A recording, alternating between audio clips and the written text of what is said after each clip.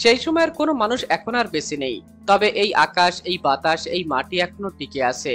সঙ্গে বহাল তবিয়তে দাঁড়িয়ে আছে একটি গাছ, যার নাম সাহাবি গাছ। এই গাছটি কোনো সাধারণ গাছ নয়। এই গাছটি এখন থেকে প্রায় পনেরোশো বছর আগের ঐতিহাসিক সাহাবি গাছ।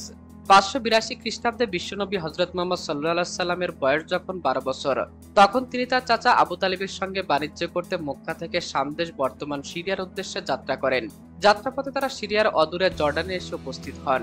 এই এলাকাটি তখন ছিল শত শত মাইল ব্যাপী উত্তপ্ত বালুকণাময় স্থান। চাচার সঙ্গে রসুল্লাহ সাল্লাহ সাল্লাম মরুভূমি পাড়ি দিয়ে যখন ক্লান্ত হয়ে পড়েন, তারা একটু বিশ্রামের সন্ধান করছিলেন কিন্তু আশেপাশের কোনো গাছ বা ছায়া পাচ্ছিলেন না। তখন তারা কিছু অদূরে পাতাবিহীন মৃতপ্রায় একটি গাছ দেখতে পেলেন। এই গাছটির নিচে কেউ বসতে পারত না। কিন্তু উপায় না পেয়ে ক্লান্ত নবীজি এবং তার চাচা মৃতপ্রায় পাতাহীন গাছটির নিচে বসে বিশ্রাম নেয়। আল্লাহ রাব্বুল আলমিনের রহমতে তখনই সবুজ পাতায় ভরে যায় গাছটি। এই ঘটনা দূর থেকে দেখেন জার্জিস ওরফে বুহাইরা নামের একজন খ্রিস্টান পণ্ডিত।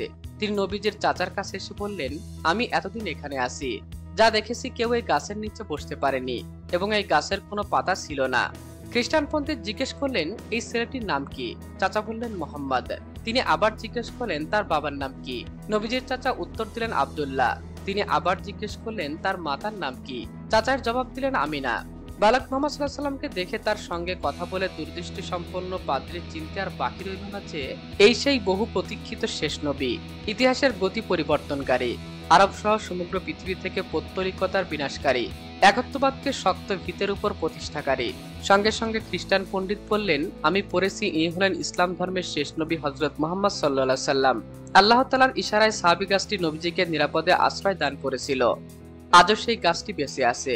এই গাছটি একমাত্র জীবিত সাহাবি গাছ হিসেবে পরিচিত। এই গাছটির নিচে এর আগে কখনো কেউ বসতে পারেনি। এই গাছটির অলৌকিকতা মনে করিয়ে দেয় সৃষ্টিকর্তা বলে একজন আছে। তারই রকমতে বেঁচে আছে গাছটি।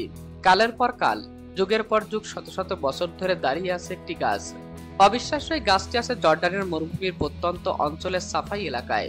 জর্ডানের বাদশাহ দ্বিতীয় আবদুল্লাহ এই স্থানটিকে পবিত্র স্থান হিসেবে স্বীকৃতি দিয়েছেন। স্থানটিকে বিশেষভাবে সংরক্ষণ করেন। বিশেষ দিনগুলোতে প্রচুর লোক সমাগম ঘটে গাছটি দেখার জন্য। এখানে আগতরা গাছের নিচেই নামাজ আদায় করে থাকেন। প্রচুর লোক সমাগম হলে জামাতের সঙ্গে নামাজ আদায় করে থাকেন তারা।